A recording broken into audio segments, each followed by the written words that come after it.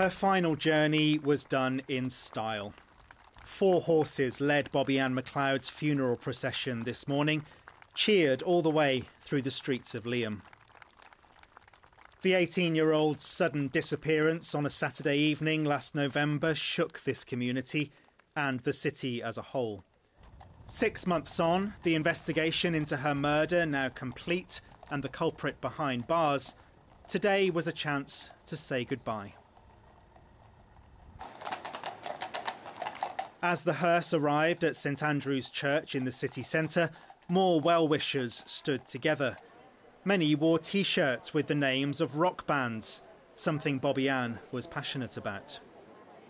Her coffin was taken inside, and then there was a moment of quiet stillness before the private service began.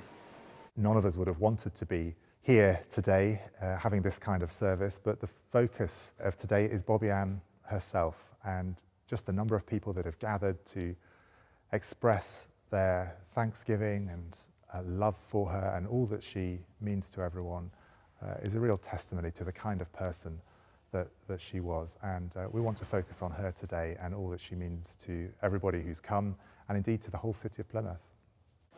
Inside the church, Bobbi-Anne's favourite music was played. Songs included the hit Iris by American band The Goo Goo Dolls and a track by the rapper Puff Daddy. Another spontaneous round of applause broke out as Bobbi's coffin was taken away for the final time. People clearly visibly shaken on this most difficult of days. Back in Leigham, fresh flowers and a fitting reminder of the young girl whose name will live on in Plymouth's memory.